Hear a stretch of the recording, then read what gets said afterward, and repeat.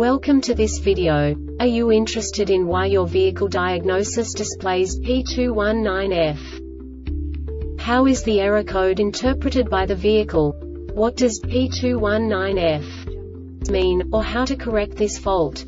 Today we will find answers to these questions together. Let's do this. First, let's look at the history of diagnostic fault code composition according to the OBD2 protocol, which is unified for all automakers since 2000. We divide the electric system of automobile into the four basic units. Powertrain, body, chassis, network. This distribution is defined in the first character code. If the second character is expressed as zero, it is a standardized error. In the case of numbers 1, 2, 3 it is a more prestigious expression of the car-specific error. The third character specifies a subset of errors. The distribution shown is valid only for the standardized DTC code. Only the last two characters define the specific fault of the group. Let's not forget that such a division is valid only if the other character code is expressed by the number 0. Our website airbagreset.sk produces useful videos for you.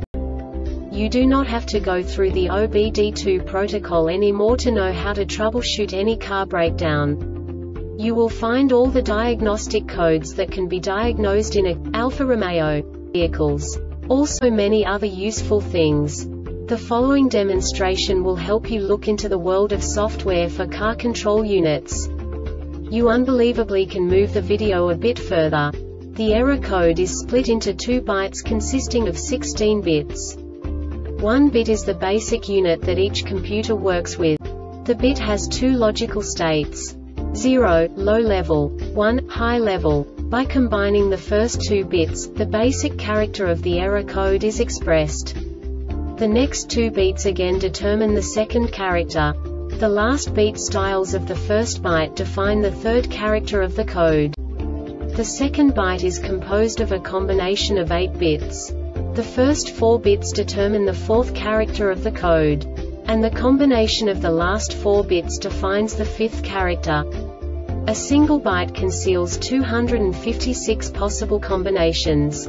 We now know in what way the diagnostic tool translates the received information into a more comprehensible format.